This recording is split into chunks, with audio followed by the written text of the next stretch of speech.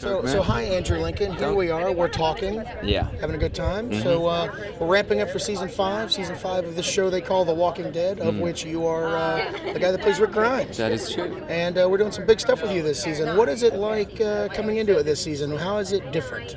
How is it different? Well, the- with the zombies on sharks throwing snakes this year. I specifically told you not to tell people about the, uh, the the zombies on sharks throwing snakes, but that is going to be Yeah. a huge mid-season finale. Spoiler. Sorry. Huge mid-season finale. No, Where we- does sharks uh, come from? Let's let's give them that. Uh, Daryl Dixon's underwear. You're spoiling Oh, no, the Daryl are- Dixon underwear thing No, too. those. Sorry, those are the crabs. What else do you have planned for while you're Andrew Lincoln, uh, he, earlier I interviewed him. He said a nasty rumor about you. I'm not going to repeat what that rumor is, I heard he told me. but is it true?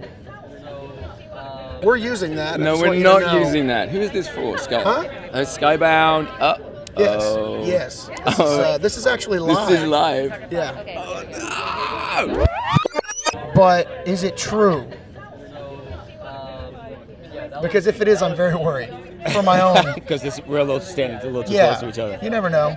That's not true. All of that is not true. What is happening this season is we we we've done something incredibly unique, which is it's a cliffhanger. So we I think that this first episode is the strongest, most complete episode that we've done. It's full of action, the the biggest action sequence we've ever attempted.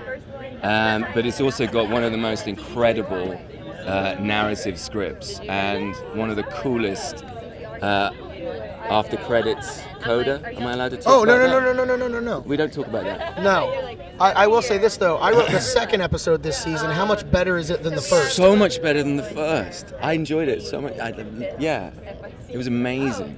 Thank you so much, Andrew Lincoln. You're the I, best. Well, I, I asked, I you still haven't answered the three questions I asked you about your script. We really don't need to talk about this. Let's talk about that for a moment. Yeah, Andrew comes up to me on set. He says, uh, "I really want to sit down with you.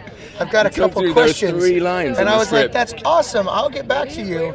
And then I dodged him. And this is I when you're getting dodged back to me publicly uh, right now. Yeah, but it went But well. we've, we've shot it already. It went well, didn't it? Yeah, it went really well. Ladies and gentlemen, that's how you deal with actors. Uh, avoid, avoid, avoid.